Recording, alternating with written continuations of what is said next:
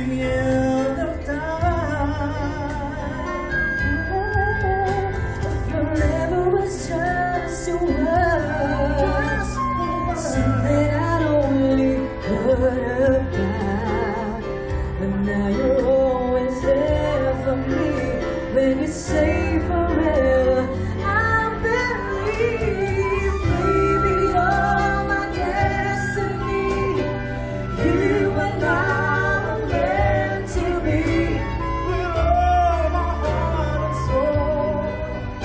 in my